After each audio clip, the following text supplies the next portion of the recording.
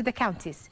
Two family members and a father and son have been murdered in Sorok sublocation, Baringo Central, Baringo County, over land dispute. According to the family of the deceased, the two were in the shamba before a group of people descended on them with pangas. This and more in our county news roundup.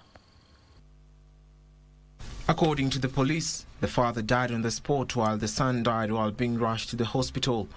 The police have, however, said that they are in pursuit of the suspects who are currently at large.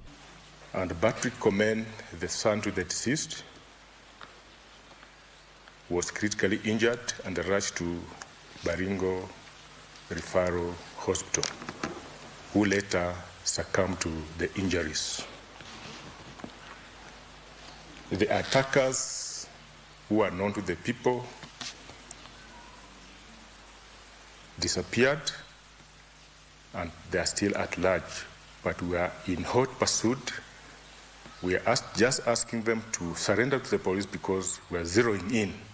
Meanwhile, some 465 people living with disabilities in Embu County have received equipments and cash worth 15.2 million shillings, courtesy of the National Fund for the Disabled of Kenya.